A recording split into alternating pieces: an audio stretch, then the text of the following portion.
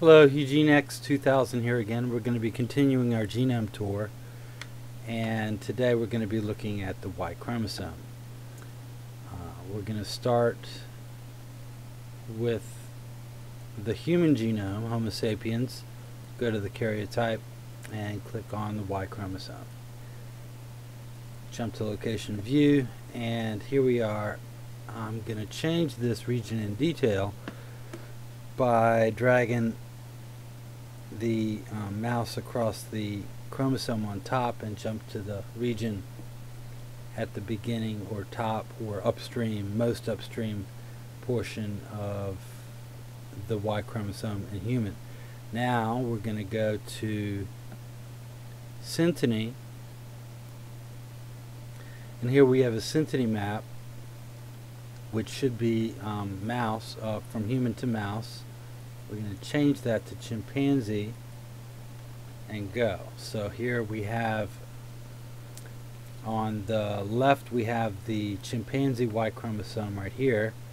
In the center we have the human Y chromosome and then any other chromosomes in the chimpanzee genome that the human Y chromosome um, links to. So we're going to have um, we're going to have some homologous genes here on chimpanzee chromosome 1 and also on chimpanzee X chromosome. So we're going to start at the top. Um, we're going to navigate homology all the way through. Uh, we're going to notice, and you're you're going to notice, there's quite a, quite a few genes which show no homologs between human and chimpanzee. Um, so for those who suggest that evolution, for example, um, um, homolog uh, homology shows that um, humans and chimpanzees have a common ancestor, you're going to see a bit of a problem with the um, with that particular idea when you when you begin to see the number of genes that do not have a homolog um, between human and chimp. And then if we have time, we're going to flip it around and look from the chimp's point of view and draw the homology from chimp to human. So starting now with um, human on the left and chimpanzee on the right, here we have six genes showing no homologies. We're also going to be looking at gene order. As opposed to gene sequence, gene order is the order in which the genes appear on the chromosome um, in order from top to bottom or from upstream to downstream. Now, as you begin to look, you'll we've already looked at the first six showing no homologs and also you'll notice the SLC 25A6 gene has um, a homolog in chimpanzee, but it's on chromosome 9. And um, here's one which is um, not designated to uh, chromosome. We've got a couple, one, two, three, four that are on the chimpanzee X chromosome and go downstream 15 genes.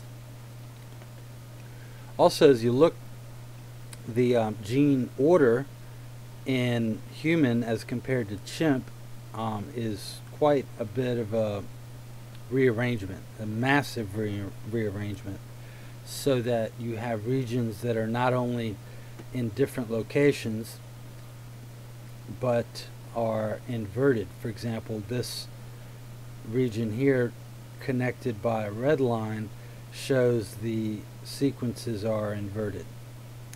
And um, okay back down here. Along with the original six showing no homologs here's another seven um, eight.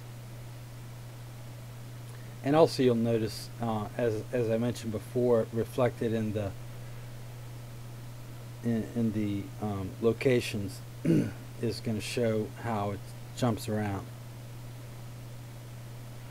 and we're going to go downstream 15 more and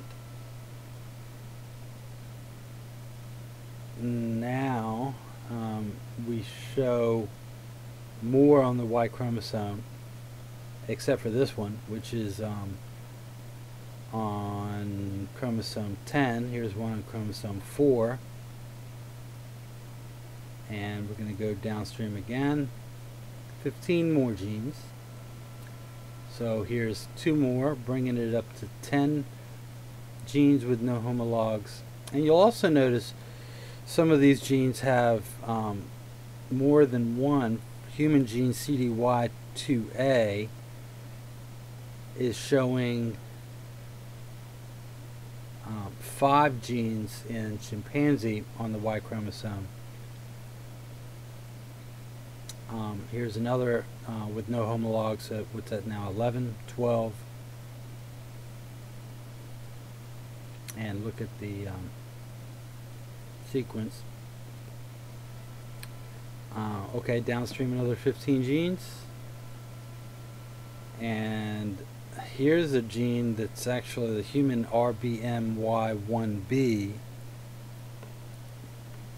uh, showing homologs on chimpanzee Y chromosome, but it seems to be split up quite a bit here um, and, and separated into several different genes. And again, the same thing with RBMY1A1. And just scan down and um, you're going to see a lot of uh, segmentation here of the genes between the two species. So we're going to go downstream the last 11 uh, because on the uh, human Y chromosome actually this last stretch Q12 on the long arm of uh, the human Y chromosome shows no protein coding um, genes and for the last um, 11 genes as comparing human to chimp. Here's uh, one more, the SPRY3 gene showing no homolog.